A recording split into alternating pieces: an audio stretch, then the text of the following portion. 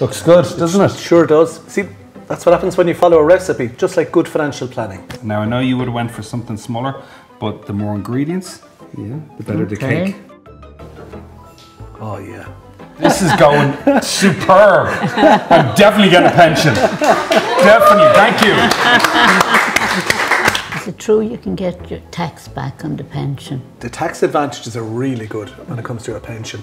If you put 100 euro into your pension, you can get 40 of that back. And you still have 100 euro Your invest, invested in it, which is great. Right, yeah. This is delicious. Wasn't that easy?